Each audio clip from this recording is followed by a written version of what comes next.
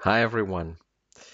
The normal Slack and Salesforce integration um, works very well with normal Salesforce data, but uh, unfortunately does not work with Salesforce reports. So you cannot simply uh, make a Salesforce report and show it up in Slack.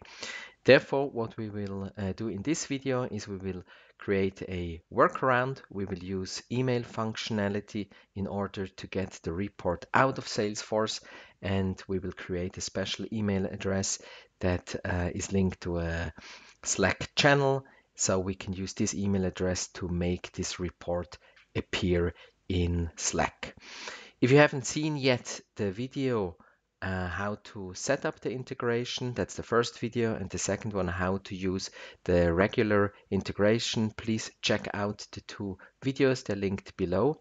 And now let's have a look into the system and how to set up this workaround. Great, so let's look now in our systems how we can make this work. First of all, let's create a dedicated Slack channel so we can test this a little bit better. Let's call it uh, reports from Salesforce. And we will set, it up so that reports will be sent into this Slack channel. We create it. And next we need to install the, the, the correct app we go here to add apps and we search for the app called email. That's the app. And you can see here the description of it. There are certain limitations that are not relevant for our use case. The email itself cannot be larger than one megabyte. Uh, the, the email body and uh, the attachments cannot be larger than 30 megabytes um, there cannot be more than 20 attachments per email, things like that. Okay, let's add it now to uh, Slack. And here we are asked um, to choose a channel. So let's choose now this um, correct one. Reports from Salesforce. And what we receive now is um, really important, and this is the email address that is linked to this channel. Okay, meaning that whenever we are sending an email to this address, it will show up in this Slack channel. I can, I will first of all copy this one and Let's save it. Great. So now this is saved. Let's test this really quickly. We will go to our to any email um, and we will send now a test email. Test email. Does the integration work? Let's send it.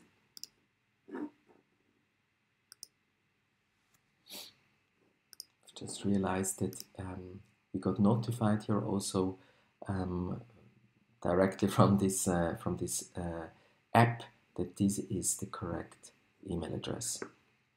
Okay, and we got a notification that our test email arrived. So this already works. We can now use this email address uh, here in order to receive emails into this Slack channel.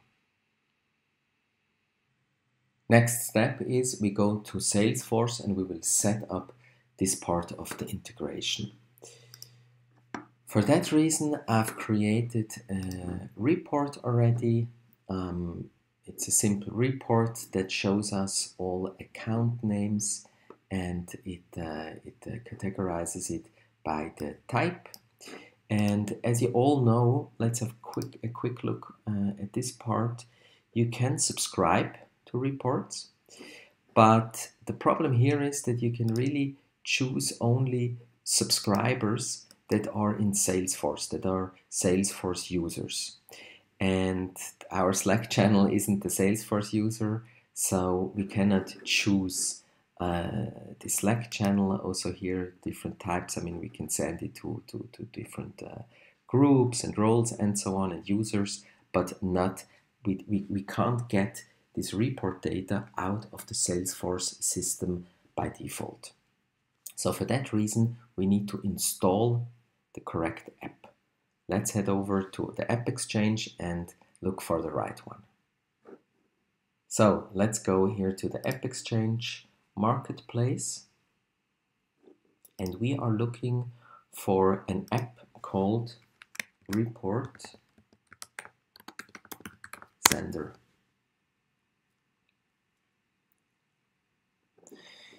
So um, this is the correct app called Report Sender by a company called Cloud Answers. You can find, by the way, a video I did with one of the founders of CloudAnswers just on this uh, uh, app where you can see more details and more functionality, how it's all configured. It's an amazing app and it's for free as well. So we will now install it.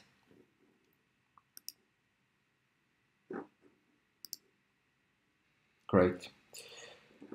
So we will now install it. Great. Now let's install it in our test environment. And once it's installed, we can set it up so we can send reports also outside of Salesforce. The installation is complete and let's go now to the app and set up our first email. Click here done and I'm looking for report for the report sender and it gives us a warning that we need to activate it first and let's um, set up now our first uh, schedule. This is how it's called. We click here. Yes. We allow access.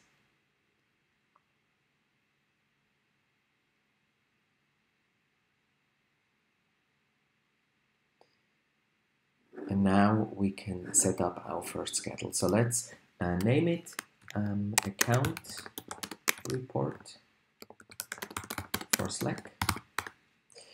We search here for the, the name of the report. It's called accounts report by type. Now we can choose the subject line of the email and also we could add some text here into the email body. Um, yeah, let's keep it simple here. Mm report arrived accounts by type hi please check the latest data about accounts but um, for now let's uh, just go here with a standard configuration we choose here running user uh, sorry, no, the scheduling user, which is the user um, actually um, that created the report. Now, this is important. Uh, send to email, so we can choose any email address that you that we would like in order to get this report out of Salesforce. And we need now to use this email address that Slack provided us with and let's enter it here. You can choose here at what time you would like to send this report and the frequency also. You can choose if you would like to skip uh, the sending in case it's just empty. And here you can uh, also choose different uh, formats for the file. Uh, in our case, let's just keep it uh, simple and choose a comma separated uh, file. and we save it.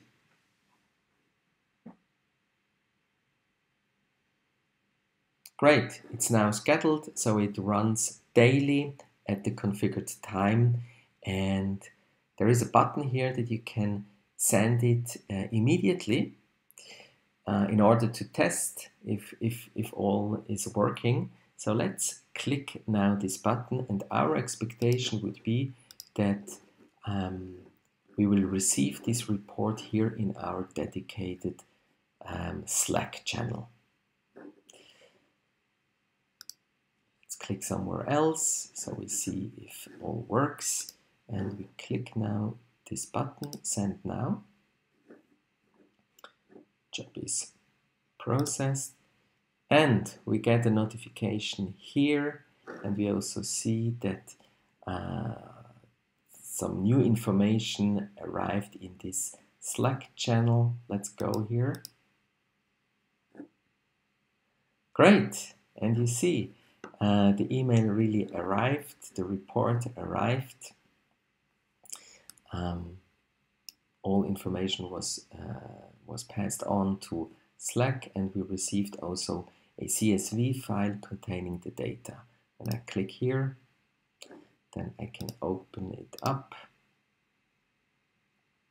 and you see all information really uh, arrived here um, and that's how we get uh, reports out of Salesforce into Slack.